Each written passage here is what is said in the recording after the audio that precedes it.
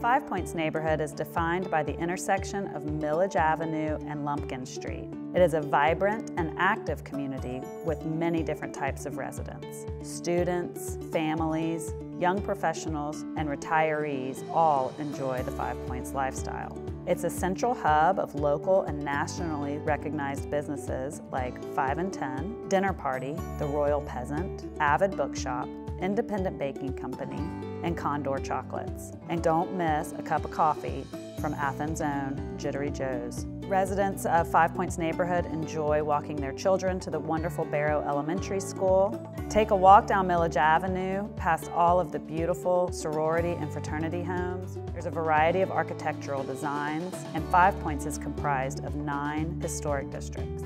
Some of Athens' most premier streets like West Cloverhurst, University Drive, and Milledge Circle offer the most beautiful homes in all of Athens.